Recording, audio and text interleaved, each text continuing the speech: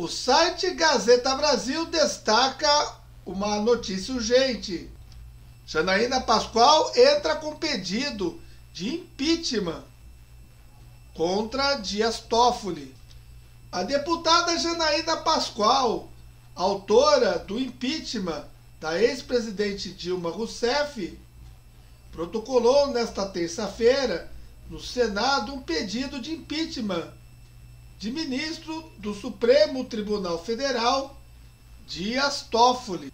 O pedido trata especialmente da decisão do ministro que suspendeu o andamento de processos que envolvam dados compartilhados por órgãos de controle, como o COAF, Conselho de Controle de Atividades Financeiras segundo a determinação, para dar continuidade a um inquérito desse tipo, será preciso autorização judicial.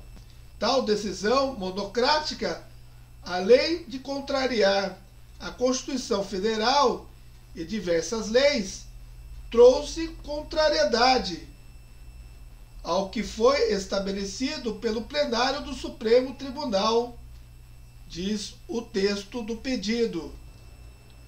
E você deseja também o impeachment de Dias Toffoli?